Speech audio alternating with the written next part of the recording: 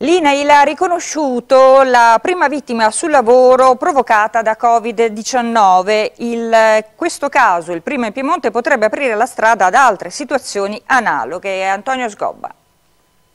Lavorava in un grande ospedale torinese, è morto a marzo dopo la terapia intensiva. È il primo caso in Piemonte di infortunio mortale sul lavoro, causato dal Covid-19 e riconosciuto dall'INAIL. Lo ha segnalato Daniele Bais, direttore della sede Torino Nord dell'istituto.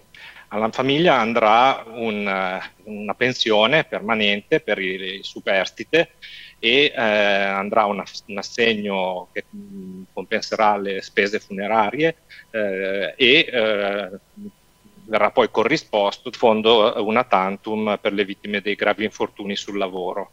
È il decreto Cura Italia a prevedere che nei casi accertati di infezione in occasione di lavoro ci sia l'iscrizione nel registro dell'INAIL come infortunio. Da un punto di vista legale possono essere accertate anche le responsabilità del datore di lavoro, come spiega l'avvocata Giulia Druetta. È necessario però che poi si verifichi se il datore di lavoro ha predisposto tutte le misure di sicurezza al fine di limitare il rischio al minimo. Credo che ci sia molto lavoro ancora da fare e la regione, l'INA e i tecnici competenti devono intervenire nei controlli perché senza controlli non si arriva da nessuna parte, come ben sappiamo.